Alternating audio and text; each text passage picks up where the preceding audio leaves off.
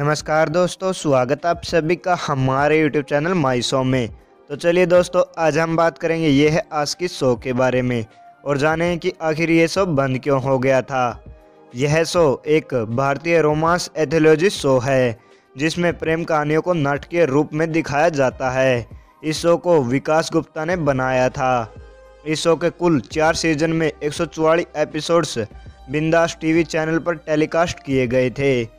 इस शो का पहला एपिसोड 25 अगस्त 2013 को आया था और लास्ट एपिसोड 7 अगस्त 2016 को आया था। अगर बात करें इस शो की स्टोरी की तो इस शो में हर एक एपिसोड में एक प्रेम कहानी को दिखाया जाता था और उन प्रेम कहानियों के स्ट्रगल को नाटकीय रूपांतरण में प्रस्तुत किया जाता था। शो की हर एपिसोड में एक नई प्रेम कहानी को शो में दिखाया जाता था। इस तरह शो चलता रहता था। इस शो के सीज़न वन के एक से तेरह एपिसोड्स को विक्रांत मेसी ने होस्ट किया था। चौदह से चौरानवे एपिसोड्स तक ऋत्विक धनजानी ने और सीज़न टू के सभी बीस एपिसोड्स को भी ऋत्विक धनजानी ने होस्ट किया था। पर सीज़न थ्री को रैपर मेडी ने होस्ट किया था तथा सीज़न फोर को मरीनल दत्त ने होस्ट किया था। अब बात करते हैं कि आखिर ये शो बंद क्यों हो गया था? यह शो प्रेम कहानियों को दिखाता था। जिससे शो ने युवाओं को अपनी ओर आकर्षित किया था। युवाओं द्वारा शो को बहुत ज़्यादा पसंद किया गया था और शो का टाइटल सॉन्ग ये आज की एक बहुत बड़ा हिट रहा था और शो का सीज़न वन एक बहुत बड़ा हिट रहा था। पर इस शो को अचानक से बंद कर दिया गया था। इस शो के बंद होने का कारण शो के होस्ट ऋत्विक दंजानी थे।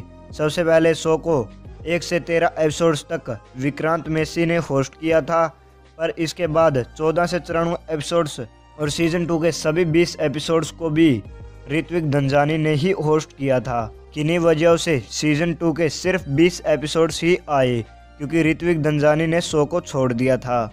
इसके बाद रैपर मेडी ने सीज़न थ्री को होस्ट किया, पर सीज़न थ्री के सिर्फ़ तेरह एपिसोड ही आए। इसके बाद शो के सीज़न फोर को लाया गया, जिसको मरीनल दत्त ने होस्ट किया। पर सीज़न फोर के भी सिर्फ़ 24 एपिसोड ही आए थे। शो के बंद होने का कारण ऋत्विक धनजानी थे, जिन्होंने शो की कहानियों को बहुत ही अच्छी तरह प्रस्तुत किया था। और ऋत्विक धनजानी के शो को छोड़ने के बाद शो इतना अच्छा नहीं चल पाया, इसलिए शो को बंद कर दिया गया था। अगर आप इस शो के एपिसोड्स देखना चाहते हैं तो आप इस शो के कुछ एपिसोड्स बिंदास के ऑफिशियल यूट्यूब चैनल बिंदास पर देख सकते हैं।